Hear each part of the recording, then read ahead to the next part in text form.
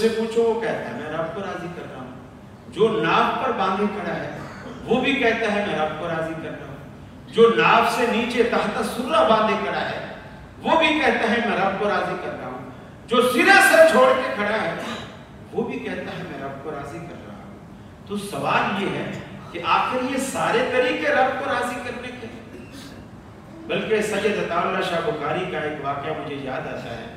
وہ فرماتے تھے کہ میں ایک مسجد میں جا کر کے بیٹھا، نماز پڑھی، نماز سے فارغ ہوا، بیٹھ گیا، کچھ دیر تصویر پڑھنے لگا۔ میرے سامنے ایک صاحب آئے، اس نے سینے سینے پر ہاتھ باندھے۔ میں سمجھ لیا یہ وہابی ہے، حدیث ہے۔ پھر دوسرا آیا، اس نے ناف پہ ہاتھ باندھے۔ میں سمجھ گیا، یہ حنفی ہے، یہ بندی ہے۔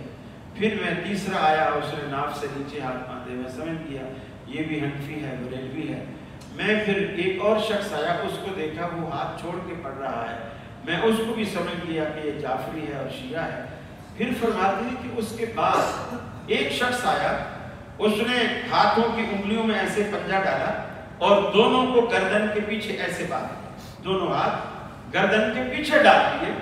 اور میں سوچتا رہ گیا کہ یہ کون سا باقی تو میں سب کو جانتا ہوں، لیکن اس کو نہیں جانتا۔ شاہ صاحب لکھتے ہیں کہ جب وہ نماز سے فارغ ہوا، میں نے اس سے پوچھا، بھائی، یہ جو تیرا مسلک ہے، گردن میں ہاتھ باندھنے والا، یہ میرے سامنے پہلی دفعہ آیا ہے، یہ کون سا مسلک ہے؟ تو وہ کہنے لگا، بولے، وہ مجھے جانتا تھا۔ وہ کہنے لگا، شاہ صاحب، آپ کو کیا بتاؤں؟ پہلے میں سینے پر باندھتا تھا پھر ایک مسجد میں گیا، انہوں نے کہا، تو تو غیر مقلد ہے، تو تو نبیوں کا گستاخ ہے، اماموں کا گستاخ ہے، بے پیرا ہے، بے مرشد ہے، تو تو کافر ہو گیا ہے۔ لہذا تو ناک پہ ہاتھ باندھا میں نے ناک پہ باندھنے شروع کر دی۔ پھر میں ناک پہ باندھتے کسی جگہ گیا۔ تو انہوں نے کہا کہ تو تو دیوبندی ہے، تو تو فلاں ہے، تو تو یہ کرتا ہے، تو تو وہ کرتا ہے، نبی کو بشر مانتا ہے، تو تو کافر ہے۔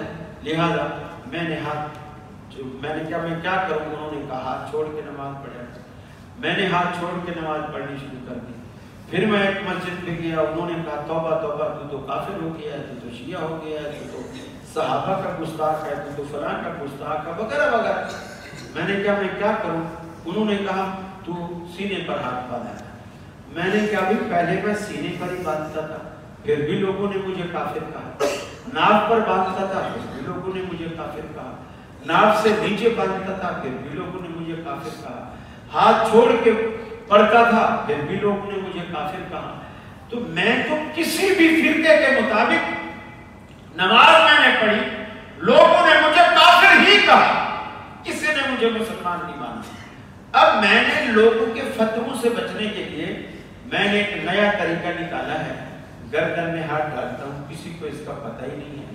نہ کسی کو پتہ چلتا ہے، نہ کوئی فتوا لگاتا ہے۔ شاہ صاحب رحمت اللہ علیہ کہنے لگے مولویوں سے کہ دیکھو تم نے دین کو اتنا مشکل بنا دیا، کفر کے فتوے لگا لگا کے اتنا مشکل بنا دیا کہ اب جو مسلمان ہیں، وہ اس سے منحرف ہو کر ایک نیا طریقہ، نئی راہ کی تلاش میں ہے تاکہ وہ تمہارے فتو کی زد سے بچ سکے۔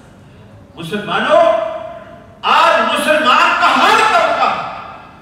مسلمان کو کافر کہتا ہے۔ صرف کافر ہیں جو مسلمان کو مسلمان کہتا ہے